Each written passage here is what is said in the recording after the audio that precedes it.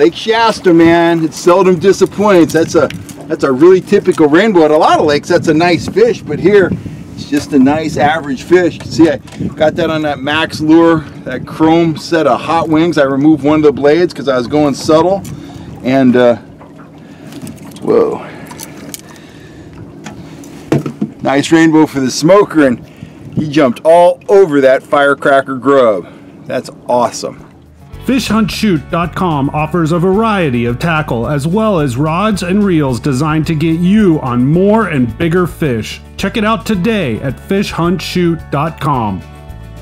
Howdy, folks. I'm Cal Kellogg, and I am the Grub King of Northern California.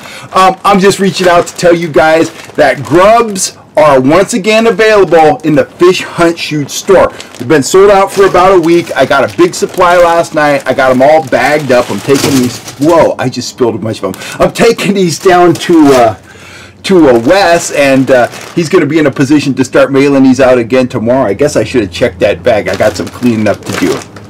Anyway, let me stick a picture up here. Um, if you order our grub kit, you're going to get two of our Sidewinder blades, one in the holographic silver, one in the holographic gold. Um, you're going to get 25 different grubs. You're going to get three different colors of three inch grubs. You're going to get the cotton candy, the cherry bomb, and the firecracker. And then you're going to get two different colors of two inch grubs. You're going to get the larva color and the ghost minnow color.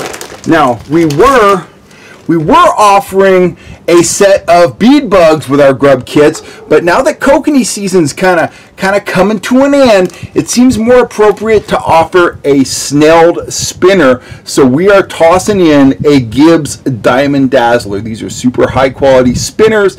You can put a worm on them. You can put one of my small grubs on them. You can troll them naked. You can put a salmon egg on them. You can even put a little ball of power bait on them if you're at a place like Collins or Pardee or, you know, wherever, wherever there's supplanted trout. So anyway, that's our grub kit. They're back in the store again. They are fish catchers, and uh, that whole kit comes out to you, delivered to your house for 24 bucks. So if you've been looking for one, if you're one of those fellows that was emailing us saying, when are you going to get more grubs? They are back in stock. I've got a deep supply. Um, we shouldn't go out of stock again, hopefully. We'll see.